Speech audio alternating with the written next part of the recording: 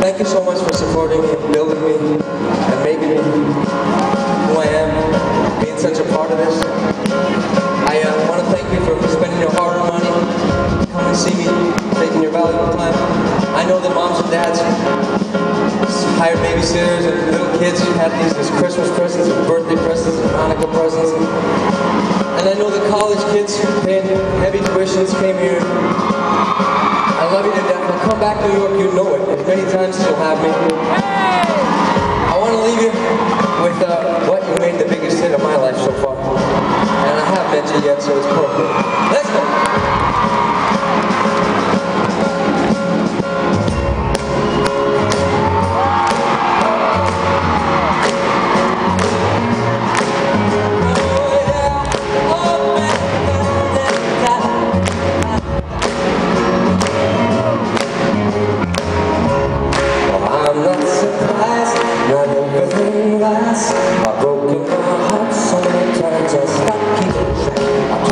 Lord.